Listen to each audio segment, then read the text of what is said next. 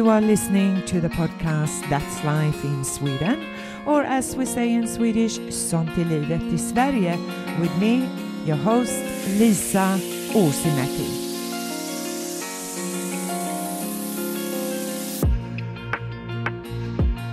Today I'm speaking with Dr. Amudha Poobalan, who is a country director for International Higher Education Teaching and Learning Association or HETL. She's also the senior editor of journal for the Journal of Applied Research in Higher Education. Welcome to the program, Amudha. Thank you very much, Lisa. It, I'm honored to be part of this. Oh, fantastic. And you're so welcome. How are you? I'm all right, thank you. And it's a beautiful day in Aberdeen, in Scotland. So, yes, I'm good. Wonderful. Uh, now you worked uh, to just to get a sense of a little bit about your background. Now you worked as a clinician. You are a medical doctor. You trained in India in Vellore. And, and so before you decided to train in as an educator in public health at the University of Aberdeen in Scotland, can you ex- just share with us what was it that attracted you first of all to become a medical practitioner or a doctor and then um, and join academia? Thank you, Lisa. Uh, um, as you said, I um, trained in a medical school called Christian Medical College in Vellore in South India. Um, that hospital was about 30 minutes away from where I grew up. And I come from a remote rural area in south of India. And many of my relatives, everybody around me, went to that medical school uh, and the medical college uh, hospital uh, that's linked to it. And the treatment and the care that was provided was great. And probably when I was young, as a teenager, probably that's what attracted me to become a, a doctor, walking around with coats and stethoscopes, but also the care that the hospital provided, which s- slowly started drawing me to become a, a, clinician. So after I graduated from CMC in Vellore, I worked as a clinician in another remote rural area working in leprosy as a medical officer in infectious diseases at that point, I didn't know anything about research. I was a pure clinician working away in a rural area. But there was a research project commissioned by a Belgian charity at that point, and I was a clinician on it. And without knowing anything, I just did what a clinician was supposed to do on a research project, but saw how evidence can be put together, collated together, that go on to change practice and policy for the benefits of patients. So the results of that research project um, became that background and the basis for me to take those conversations up with my higher authorities and change some practices which will benefit the patients. And then I was attracted to uh, research, and being in public health, health promotion is always part of public health especially through education that could be to patients, to public, uh, or healthcare professionals. And especially when I was working in leprosy, which was a disease that was stigmatized in the part of the country I come from, education was core element of what I did. And I started teaching that to nurses, to doctors. Uh, and I think that was the beginning of my journey into academia. Um, after working for four years there, teaching and uh, doing little research projects, I moved to UK for family hmm. reasons. Mm. I followed my husband here, and uh, decided to move into academia completely. So that's my little narrative. You also mentor and you support trainee doctors. Is that what you did in India at the time when you were working? Not as much then, because I was a clinician who was straightforward teaching um, the, the clinicians, healthcare professionals. But slowly I realized that um, the learning work environment and the lived experiences of healthcare professionals can have an impact on their attainment. Uh, and sometimes what they feel their experiences and perceptions also impact on their career decisions and staying in nursing, staying in medicine, the retention of it, and also the satisfaction that they get out of it. So I started researching after I came to UK how mentoring is perceived by trainee doctors. Um, they get clinical tutors uh, in many countries uh, where they are guided through the tick boxes, the procedures that they need to do, um, things like that. But how and where do they go for things like their experiences when they feel stressed out, burnout? Is there a mentoring available for these young trainee doctors, which hopefully will give them a better experience? So that's how I got into the research uh, into and supporting the trainee doctors mentoring is something that I didn't know because when I came from India, a lot of people support you. There was no term for it. You just walk in and you get mentored, I suppose. You know, we call it mentoring. Mm. But my story of making that mentoring, although you read about it, my lived experience of mentoring was my own story of making the transition from India. So when I came here, as I said, I trained in a good medical school. It's an elite medical school. I learned quite a lot, but the ethos of that school was to work in remote and rural. So I landed up four years working in very remote areas in India. And all of a sudden, I mm. was uh, here in UK. I find myself in a place which is so different from where I grew up and trained. So that was a huge physical transition for me, including the weather in the northeast of Scotland was very different.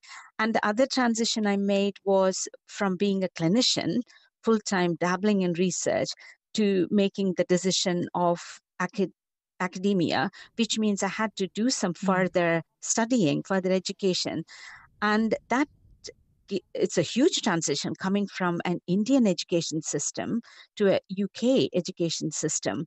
And those transitions made me um, lose my path a little bit because you're a bit overwhelmed. You are good, you're a doctor, you're trained, and you have achieved all of this. I ran a hospital, but all of a sudden you're a student again, you're in academia, you're in a different country, you're a different environment. And during that struggle, some of the things that helped me was this mentoring who I bumped into in a corridor or somebody who said, How are you? And you get chatting. And that happened, that helped me, and I'm still here. But now I'm on the other side of the table, as it were, coordinating master's programs, looking after students. And education has become so internationalized now that students move across the globe for education much more than 25 odd years ago when I came over. So, given that my students are ethnically and culturally so diverse. And for these students, transitions can be quite challenging. And I'm mostly involved in postgraduate uh, um, teaching. And postgraduates is only one year in UK. So the students who come here don't have time, like even undergraduates of three or four years, to get their fit and get their bearing right. They come and hit the ground running. And sometimes it can be quite challenging and overwhelming. So I identified the challenges over the few years of um, mm. rote learning, which was a biggest problem for me. The system in India is you memorize a lot of things and you reproduce in an exam and you will pass really well. Um, but that's not the fact here. And it's a different way of learning. Um, for me, lectures was the only way that I learned. You turn up to a lecture. But education system, the learning, the ways of learning is changing. Here, we focus more on seminars, uh, discussion boards where people put their comments on.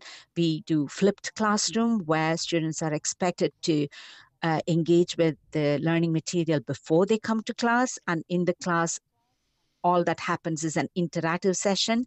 But if you come from a system where you're not exposed to all of that, it can be quite daunting.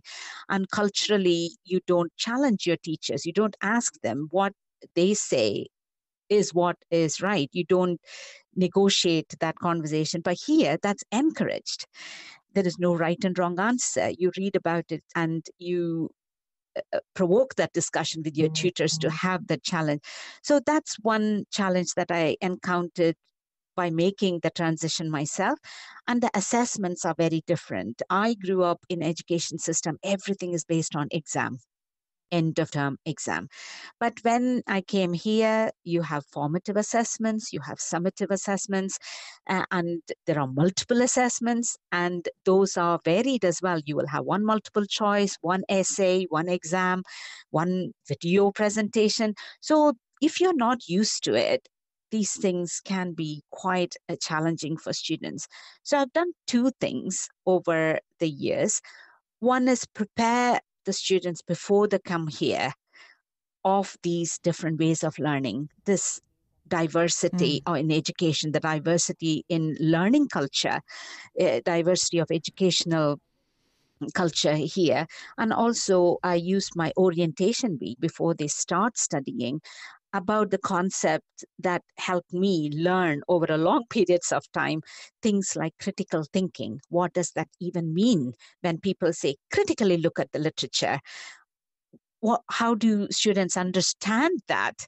Um, when they say do wider reading what do they understand that? Because when i was told do wider reading i started reading multiple books back to back uh, you know back to front because that's what i thought was wider reading until somebody told me read the concept using different sources. The same concept understand it by reading a paper understand it by listening to a podcast uh, understand it by reading a textbook. So that was very different way of so I did a bit of preparatory work with students in my orientation week and before they come here. One other thing that I did was I developed a, a support mentoring program called Success Plus. It has an abbreviation which is underpinned by matching students um, with the same career pathways, if I make sense. So, people who have come from a particular country with a specific pathway, like myself, coming from India, coming as a clinician, but my aim is to become an academic. So they are doing that master's as a step one of that journey. So I started finding members of staff who are willing to mentor those students.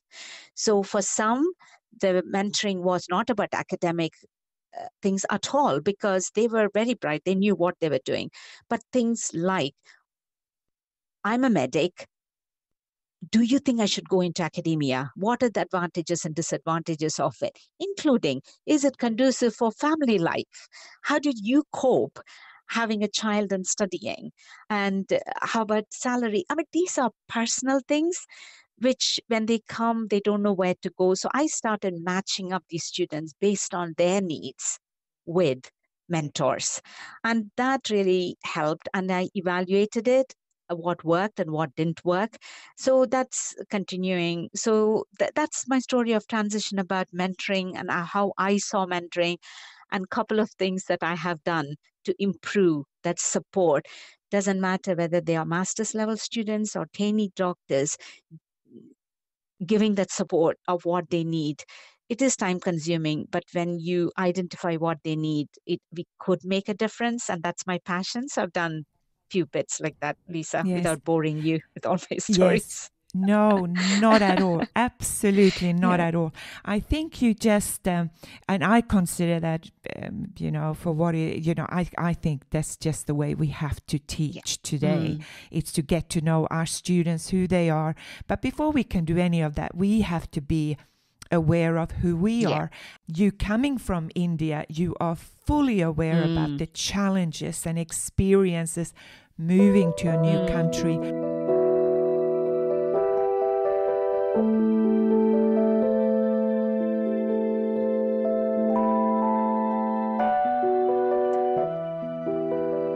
Member of staff have made this transition like me, studying in one country and now teaching in another country. As you said just now, you are aware, you understand um, as a uh, member of staff, as a teaching staff, possibly what students go through and the transitions. But if you haven't traveled uh, and you're a teacher here, sometimes it's hard for them to understand when students behave in a particular way. There are students who knock on the door when they come because they know they have a meeting, but there are some cultures that do not knock on the door, they stand outside. And you might think, oh, you know, just come in. Why do these students stand outside? And why do they not ask? I'm putting all these tutorials in and I give them time at the end of the lecture, but they do not ask me anything. They're so quiet. But probably members of staff don't understand these are not acceptable in some countries or that is their education culture where they come from they wait they don't ask members of staff to give an appointment um, so easily. They take time to think through. So members of staff uh, might not recognize that. So I've done a little mini courses for members of staff where students come in and talk about a friendly uh, sessions where they talk about the challenges that they've met and how they um, mitigated those. And also another session with members of staff like myself who have come as a student or started teaching and our struggles. And we share good practice of members of staff who have done little things like what I just mentioned before that career pathway yes. mentoring. And a lot of members of staff have done little things like that. Uh, and to highlight that to the whole university, uh, which then led to something in our university called Open to All Conversations, where we have that safe space where when you don't know how to handle a student or a group of students coming from a different mm-hmm. culture just coming and speaking to somebody saying is this okay if i said this to the student? Will they be offended? Because members of staff don't know. They don't want to offend students but sometimes knowledge uh, is important. So we've done both uh, for the students and kind of mentoring or supporting the staff as well. Yeah. Mm. And so, what you've actually done, you're providing a so called psychological safety for both your colleagues yes. as well as for students. Yeah, yeah. And that is, and it, that is about culture awareness. It just doesn't happen without the conversation. Yes. And sometimes this conversation can be uncomfortable mm-hmm. because we don't know. Uh, I don't know about your culture. Yes. What what were what were the norms? Mm-hmm. But if if there is a person like yourself who's open, who understands the challenge challenges. It doesn't really matter what what part of the world yeah. we come from, but just having had that experience, mm. you're creating par automatique in my perspective a psychological safety yes, yes. so now you are you are a researcher with extensive experience in international collaboration mm-hmm. so can you talk about the challenges with international collaboration and what you consider works to ensure sustainable mm. collaborations mm.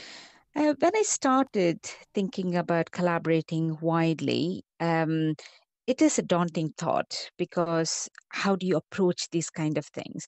But as you said, I have done few collaborative studies. I've established MOUs with several uh, medical schools across the world. If I think back and reflect on what is it that really made it work, and I have wonderful relationships with them. Uh, any opportunities we get, we try and travel and go to uh, each other's countries to deliver workshops and and i always reflect on what is it that makes it and if there's one thing i think that makes it successful and sustainable i think it's trust so oh yes yeah because when you first start um, yes, you have these formal conversations, everybody's formal, and you think there is a possibility of collaboration, you sign MOUs, and all that happens, and there is no doubt about it. But when you actually land up in another country or with another research group, you sense you're an outsider. I feel that you are watched by different people because they are looking for why why is this person or this group here? What what are they doing? I feel you know you you sense that feeling that you you are an outsider and you're watched and people are looking for do we have a hidden agenda here? Um, and and also uh, th- that is my first challenge i would think. You know you feel a bit sensitive mm. about the whole thing although superficially you're talking you're smiling but you do feel feel that sense of being an outsider and people are watching you people are looking for hidden agendas one other thing that i've learned and quite early on i switched on is when you go in, there are processes in places already in other universities. And when I go, what I reflected and went with was to understand those processes that are already in place, regulations that are already in place. That helped me not to impose what I go with saying what I come with is better than what you have here already. When that happens, I don't think it will go very well. But understanding their regulations, because they have a reason why they do it that way. And without understanding, I don't think it can move forward. So, becoming part of it, and then that trust starts to uh, uh, come in.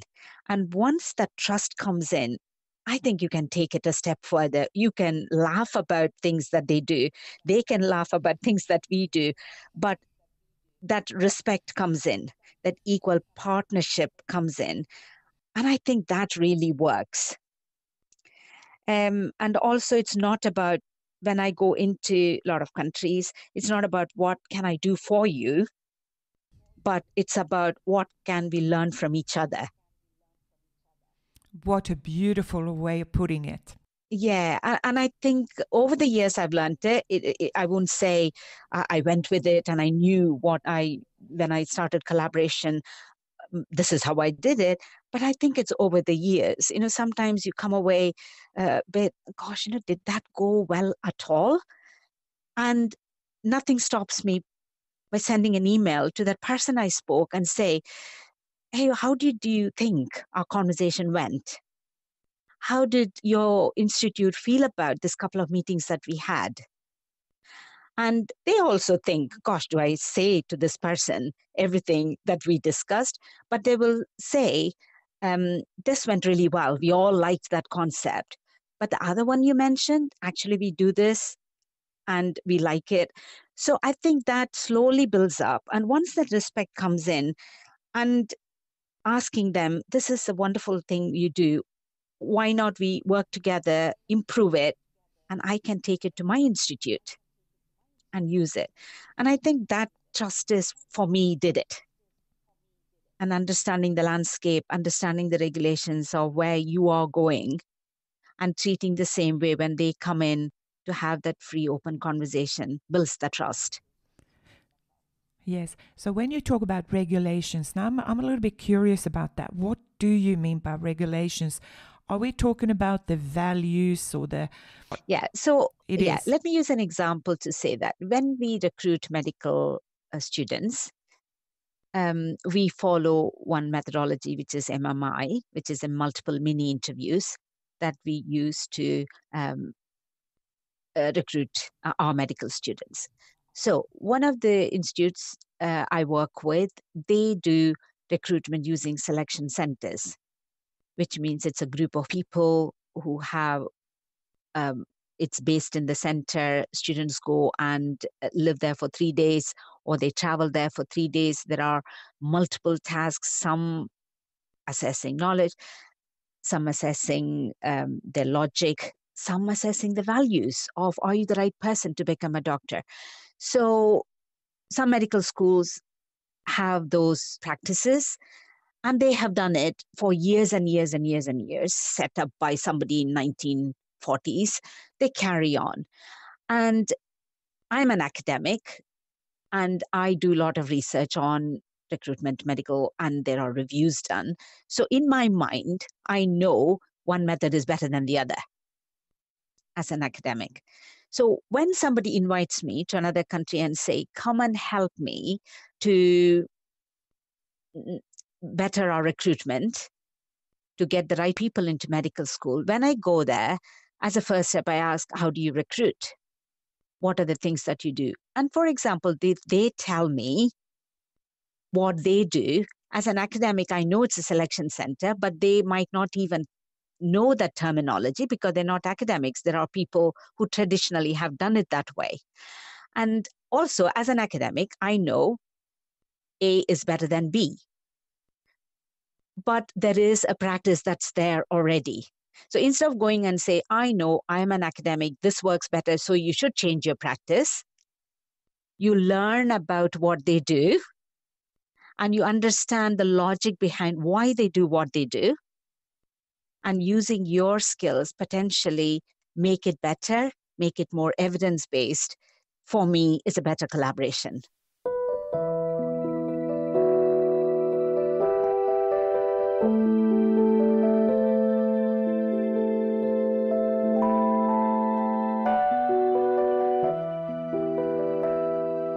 And that trust with some, it's the first meeting, there's something that clicks. But with some individuals, organization, institutions, it takes long time. And we need that patience to work at it if we believe in what we want to do. And you come from a very traditional area Yes. of mm-hmm. expertise, medicine. Yeah. My Yes. goodness. Now that is very traditional, very conservative, you know. So I mean, kudos to you to speak so openly. Um, to another, you, you, you have your research interest, I find, is just fascinating. And it goes back to what you began or when we began the, the conversation. And so, to learn more, can you talk about the lifestyle and health be- behavior changes? Yeah. So my PhD was looking at young adults uh, who are between 18 to 24, uh, which WHO has listed as at-risk group. Uh, the reason I got interested was, as I said, when I moved into academia, I did a, a master's degree and I started working as a research assistant. And at that point, early 90s, obesity and the non-communicable diseases that went with obesity was massive and it was escalating. And at that point, there were a lot of interventions that happened at schools for younger children. uh, and there were a lot of interventions that were published uh, in adults. Um, and I did a piece of work where we did a big review looking at what's the best intervention for reducing obesity generally. And if we have identified one good, wonderful, magical bullet that can reduce obesity, how does that impact on all the conditions that are related to obesity, like diabetes, hypertension, cardiovascular disease? So we did this big review and we found there are some interventions which will make you lose weight. And uh, if you lose weight, there are some improvements in some conditions. But one of the things that came up was that anything that we do is not sustainable for a long time because lifestyle is not easy thing like popping a pill every night um, and given the world how it's moving lifestyle keeps changing. So part of that work was everybody started talking about prevention. You know let's not get people there being obese or getting into these disease conditions. And when we looked at prevention again there was quite a lot on children um, and quite a lot on adults. Children, possibly because you can target them, they're in one place at schools, and it was easier to do those things. And when I mapped the life course of a person to see where this work uh, is being conducted, what I found was this young people, as it were, who are between, I don't know, 16, 17 to about 25, and there was nothing, nothing done in that age group um, regarding obesity or the diabetes or anything that's happened. So this is a very important transitional age for the reasons that people leave home to go to university in some countries and they become independent. They have to fend for themselves. They have to manage their finances and they're studying possibly and the pressures are there. Some move away from home to start work. Again, that same kind of pressures come on to these young people. Um, and there is a bit of freedom where you're being monitored and maintained by your parents, and all of a sudden you're away at university with friends who want to have fun in year one. So, all of that, and they begin to live with partners potentially, they want to impress them. So, all of that puts them at a risk become makes them vulnerable to risky behavior. So my interest started twigging towards this group. And my phd work was looking at individual behavior change theories on how to uh, look at the components that lead to behavior change and how to modify small changes in their lifestyle um, and look at their healthy behavior over a long period of time. And one of the fascinating things that came out, just one example of what uh, came out of it was the young people want to eat healthy there's no doubt about it and they make an effort but when stresses of exams and comes no matter what you say to them they actually don't care because it's a stressful time so they want to rustle up something quickly or t- get a takeaway and have fun. And also, the other thing that uh, came out was we always tell them if you become obese, you will get diabetes or hypertension. In that part of their life course, actually, they don't care what happens to them 20 years down the line. It's about here and now is what mattered to that young people. So learning that was amazing during my PhD, and we were able to educate people who do health promotions when they're targeting these people to tell them with evidence. Don't tell them about 20 years down the line. Tell them about you will look fresh. You will look hydrated. You will look beautiful if you don't drink so much alcohol or you know identifying what is important for them and modifying their behavior. So that that's something. And then my interest moved into so if people are going through those transitions across their life course how about countries that are going through transition? And india is one of a prime example of traditional cooking mothers staying at home looking after children. It's changing. Um, the traditional the women are working there are fast chains. I grew up where there are corner shops to buy your groceries, but now it's prepackaged, easy, accessible supermarkets. So some countries are going through transitions. So my work slowly started moving into understanding that uh, economic transitions, cultural transitions, um, and one of those transitions also people moving from urban, uh, from rural to urban areas, because agriculture is a very stressful thing for people. They are relying on, especially countries where there is no drip feeding the plants, they are relying on rains. And it is stressful. So, young people think going into cities and working in supermarkets or call centers is uh, salary paid every month. So, those transitions are happening, and some make it and some don't and they don't want to go back to the rural area to see as to be seen as a failure. So that uh, goes into that spiral of depression. And so these changes are very complex where there are undernutrition in some areas and overnutrition bringing in the double burden concept in the same community.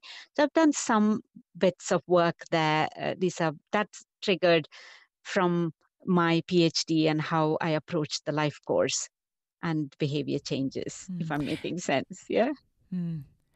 Absolutely. And you know, it is such an interesting and important area of research. And I'm, petit, I'm especially interested. Um, what is what was your experience of um, during COVID? Mm.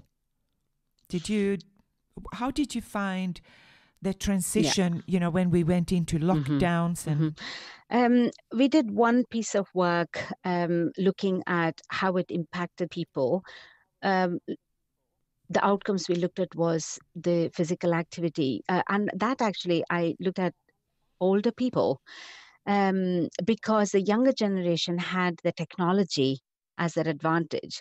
So when technology kind of improved so much in such a short period of time during COVID, the young people were able to connect very quickly with Facebook. And as you saw, but some of the elderly were a bit lost in that um, engaging with their friends because they couldn't go out, they couldn't work the technology to have that communication and so that was difficult and we we couple of pieces of work that we did was to buddy the elderly people with younglings that could be their own grandchildren or somebody was a neighbor's children.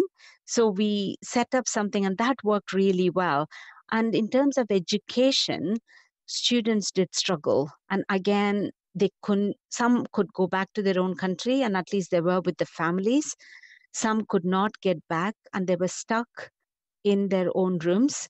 Um, and it was very hard as a as an academic lead for programs to support them. I found it difficult. But I did little things to energize them. What I asked was to ask them to go for a walk on their own because they couldn't do, uh, meet uh, other people. And I asked them to take photographs of flowers and post okay. it on the um, on the program page and I did Teams meetings where I asked people to talk about that flowers. And a lot of people came from different countries. They're the ones who got stuck here. And for them who have never seen a daffodil or a crocus, uh, I, I, remember these uh, names of the flowers because the lockdown came in March, and those are the flowers in Aberdeen, which blossoms beautifully, tulips. So they took the pictures of the flowers. Obviously, they didn't know what it was. So I asked them to go and do a little research about that flower. Uh, and they came and talked about it, what each flowers mean, because flowers have meanings, what it represents. So that bonded them. Uh, and those are the little things that I did in terms of education to keep them together. And uh, in terms of clinical things, elderly are the most uh, affected, and we help to buddy them with younger generation to help them support. Yeah. I haven't heard that one before, you know, about taking pictures of flowers. What a wonderful, you're very creative. Thank you. Not only are you med- you're a doctor, but you're also creative. I mean, my passion, you know, I've done public health in uh, both in India and here. As I said, I've done a lot of lifestyle behaviors. And then I gradually moved into education. Now, majority of my job is uh, education and uh, developing programs um, faculty development. Uh, so that's what I'm doing. But my passion, if you think, I mean, actually, uh, uh I don't think very often what next for me, but so what my passion what I want or love to do, which I've started doing, is combining both my public health and education. So one piece of work that I've done with India is in Indian education system. As you know, we don't have as many doctors um, for the population that we have. And that goes to a lot of other countries like Nepal um, and other countries uh, like in Africa, uh, dabbled in, in Nigeria. It is a problem of healthcare professional proportion to uh, the need that's there. So in India, what we have is some what somebody called health aides. So these are grassroots workers who are in the villages and what they do is to uh, assist doctors. They go and talk to villagers and bring them to the clinics. So that's the health aides. And what I have done is sometimes these health aides are very bright young people. They don't go to university not because they cannot, they have the academic ability, but they live in remote rural areas universities are in cities. Sometimes they have to walk, take a bus, or walk back in the dark, and families don't allow them. They say, that's enough, we, we can't. So th- there are a lot of factors that play a part in not allowing this young men and women to go to university. So what I have done is I work in diabetes and cancer now.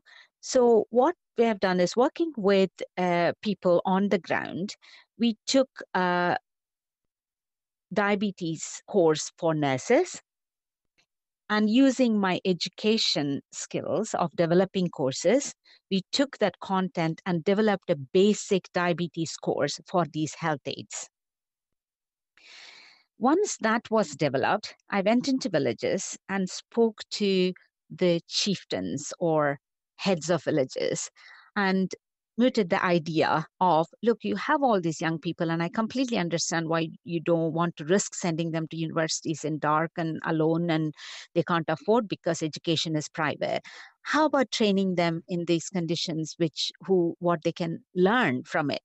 So after negotiating with them we did some courses. We took the course to them and trained these young people in the clinical condition so they learned what are the symptoms and signs of diabetes and also taught them little tests like the drop blood test to assess the hemoglobin and little you know you test their feet whether they feel the sensation um, and these kind of little things check their blood pressure so little clinical tasks, and also the basic knowledge of diabetes.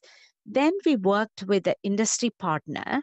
I had a couple of tablets left over from previous research projects. And what we did was we worked mm. with this company and developed a program. I'm not tech savvy, don't ask me how, but they created a program where you can track the care pathway of a particular patient.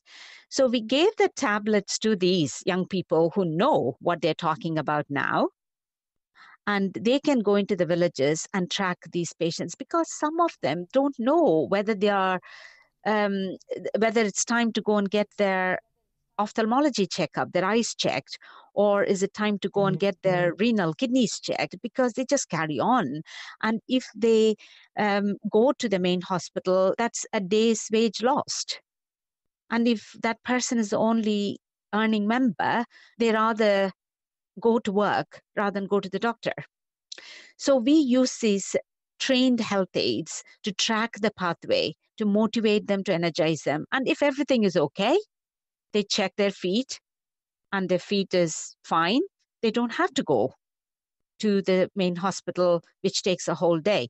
So that is combining my public health understanding diabetes and cancer and using my education developing courses skills to combine those two i have to admit lisa that was so satisfying that's my pride and i really loved it because we went back and uh, evaluated that program and some of the quotes yeah. from these health aides was quite heartwarming and quite satisfying because they said previously they just will go and say, the doctor should see you. Have you been to the clinic? But now I can listen. And when they say their symptoms, I know whether it's dangerous or not. So I go with a knowledge and they are proud of that knowledge. Yes. So I, I think that was really satisfying for me. And what next for me? I think I would like to do more of that, develop for other conditions um, and capacity built in resource limited settings like a lot of India. And, and that project now is being rolled out to whole of uh, region in South India because, yeah, the, uh, because it didn't, it, it wasn't inferior compared to doctors and nurses doing that level of tracking their care pathway. So that's published. So we have that evidence to convince people to do that. And the more we do, we'll be building capacity using these young minds to build their knowledge up. And then we can use them to support clinicians, mm. support researchers, to collect data because they are the in people.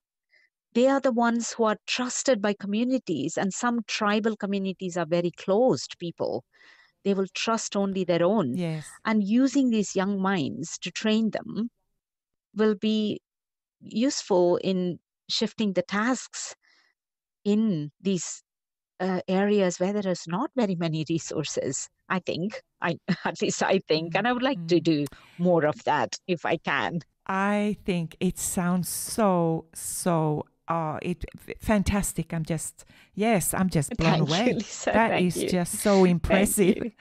Um, yeah, it's altruism. Yeah, you know, uh, yeah. It, you know, a lot of I, I, always look at doctors and I look at mm. nurses mm. and I look at anyone in the health industry or education. Yeah. It's about service. It's about being altruist, uh, altruism and caring, and you certainly are are an example of that. Thank you. Um, Oh, you are so welcome.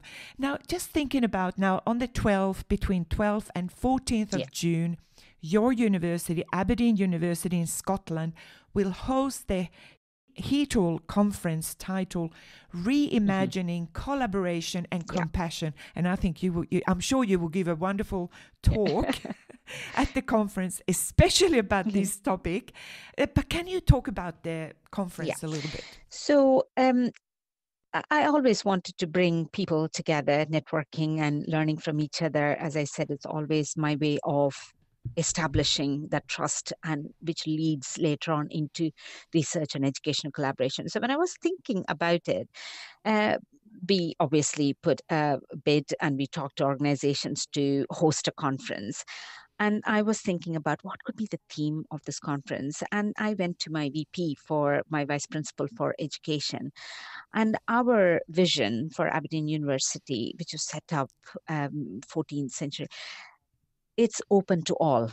That's our foundations of University of Aberdeen. And a lot of things that mm. come out of um, that vision is the themes and what we do. So I thought, why not? You know, in our group, along with our vice principal, we thought, why don't we look at what we believe in? And sometimes these um, strategies that come out are mostly in research. People look at it as mm. research strategies. When we say international, they only think about international uh, research projects. Um, but we thought, why not translate that into education? So our four uh, strategic vision, the pillars I call it, are inclusive, being international, being interdisciplinary, and sustainable. So these are the four pillars, and we've pitched this conference uh, based on those four. Um, and that aligns with our vision of being open to all. Uh, so all of these four pillars, we are hoping that there will be educational elements, how inclusion plays out in education, how sustainability plays out in education. So that's our hope anyway. So we uh, have put out a call and we've got a lot of abstracts submitted. So we're looking at that abstracts now. And we're hoping we will be able to bring a lot of educators uh, and pedagogical researchers uh, and hear about the work that they are doing across the globe who have strived to incorporate these elements into their education. And education is global. As you said during COVID, how did you manage? Education took such a big hit and a turn because some countries where we can afford to, we were able to put technology in so quickly and make it smooth. But how can education be uh, done and translated, converted so quickly in a country where they don't have enough resources? And it'll be wonderful to see how they managed those kind of transitions and uh, delivered and made their education sustainable in the two years when we all came to a standstill. So we're looking forward to bringing those elements and listen to these wonderful talks by mm-hmm. educators across the globe um, and hopefully bring that compassion and collaboration as a forefront of promoting education, I think, hopefully. It will be fantastic. Thank you so much, uh, Amudha, for for your time, and I certainly hope to invite you back another time to further discuss and maybe even talk about how did the conference. Um, yeah. What were the results mm-hmm, of the mm-hmm. conference? Absolutely. It, thank you so much, Lisa, for the opportunity. Uh, actually, made me think a lot, reflect a lot about what I've done over the years uh, for for this. So, thank you.